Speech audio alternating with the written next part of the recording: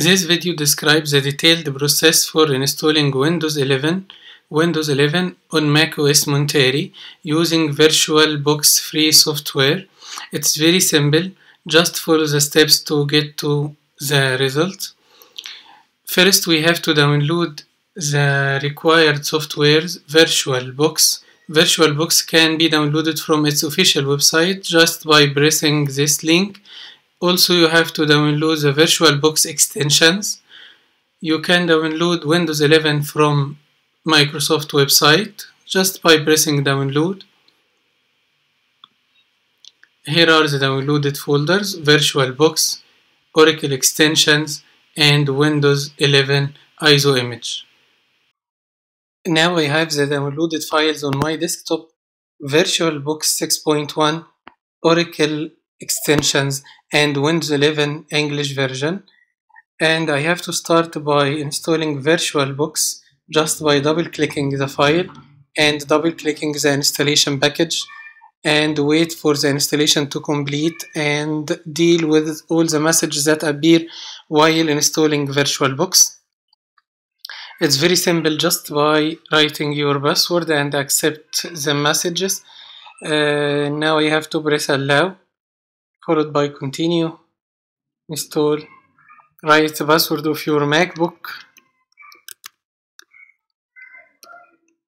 And install software. Wait until the installation is completed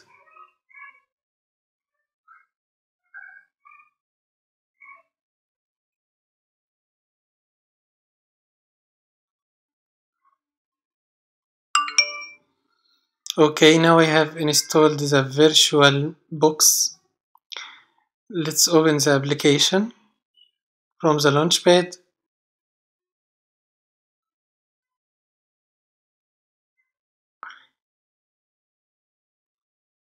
okay now we have to install the extensions.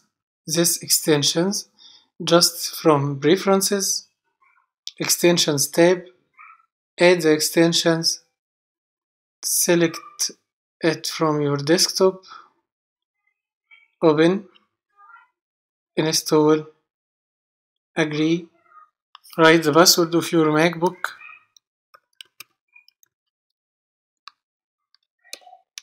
and press ok.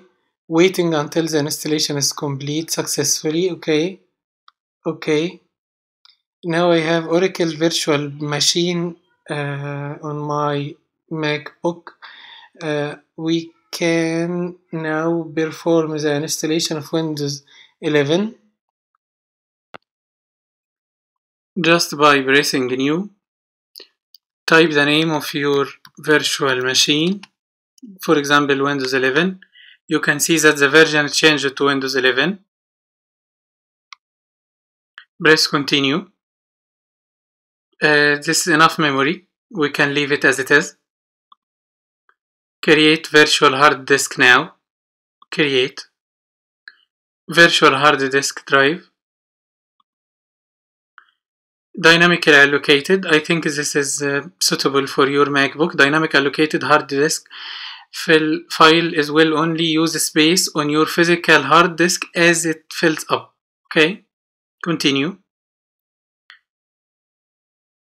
Change the size to be 64 gigabytes. Create. Now I have created the virtual machine. It needs only small adjustments press settings. Ensure that the system boots from the optical drive. Processor is two processors video memory like that. Okay. Now we have to select the storage to be the Windows 11 uh, ISO folder.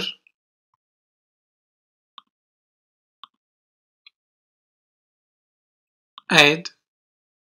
Select the ISO folder from your desktop Windows 11 ISO folder choose press OK you can see that the storage name appears here. Now we can start the installation. Press any key from your keyboard. Remove these messages. Now we are installing Windows 11. It's a process that may take time. Select next. Install now.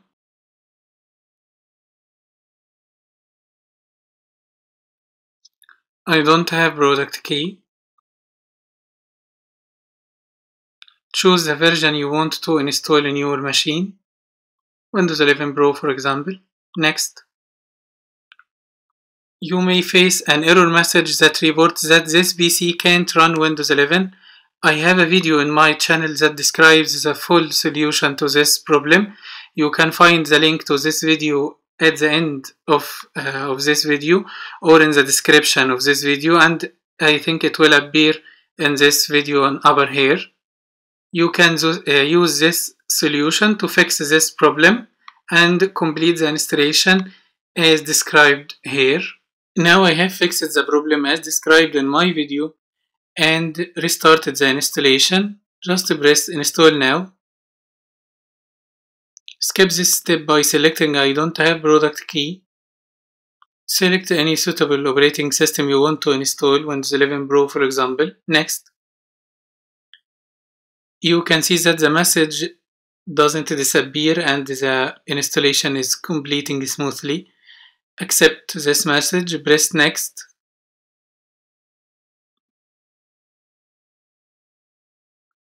Select the drive you want to install the version on it. Next. Now wait until the installation is completed.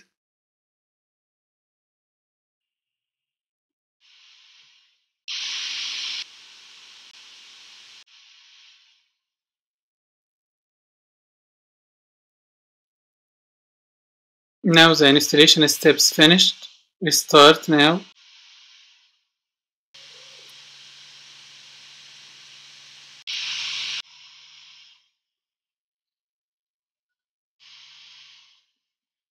Now the installation is finished. We are just selecting some configurations.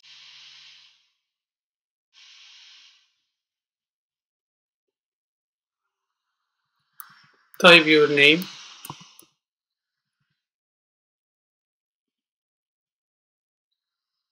Create a password, select a security question,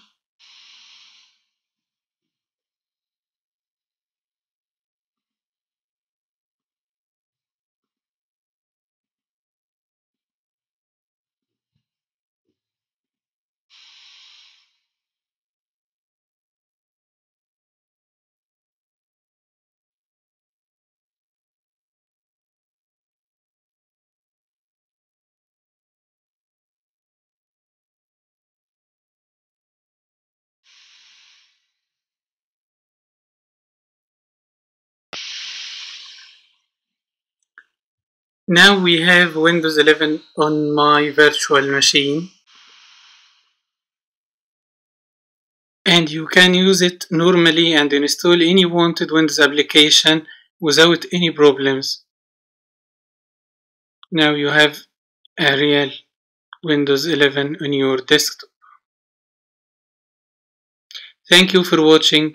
Please don't forget to like and share and subscribe to my YouTube channel and visit my website itechformac.net for more tutorials. Thank you.